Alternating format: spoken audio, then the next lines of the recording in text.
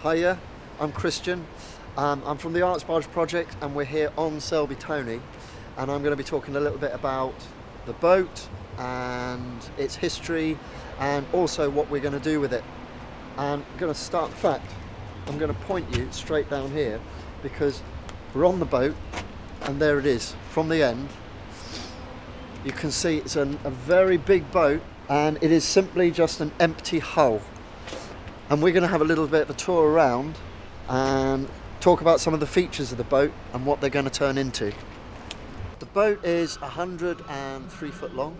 the boat is 19 foot wide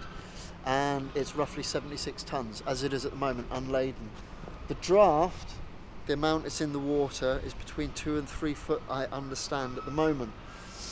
but that will change as we've got our superstructure on board as I was saying earlier, when this thing was full of cargo,